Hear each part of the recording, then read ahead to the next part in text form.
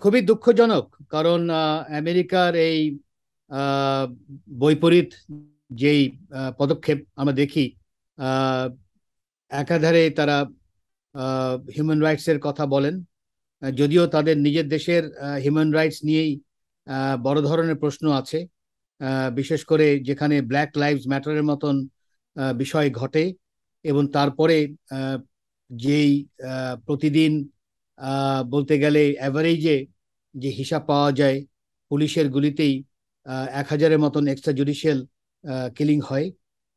সেই একই দেশ আবার যখন বিশেষ করে বঙ্গবন্ধুর খুনিদের যখন আশ্রয় দেয় তখন তো স্বাভাবিকভাবে মানুষ তাদের এই হিউম্যান রাইটসের বিষয়টাকে অত গুরুত্ব সহকারে দেখেন না।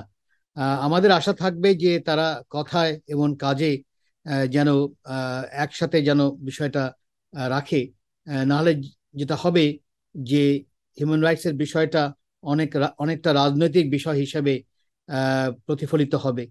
কেউ এটাকে হিউম্যান রাইটস হিসাবে দেখবে না, বরং দেখবে যে, এর মাধ্যমে কোনো অন্য ধরনের সুবিধা কি রাজনৈতিক বা অর্থনৈতিক সুবিধা নিতে চাচ্ছে কিনা। তো দুঃখজনক কোনো সন্দেহ নেই, তবে আমরা আশা করব যে তারা এই বিষয়টা যেন সমাধান করে।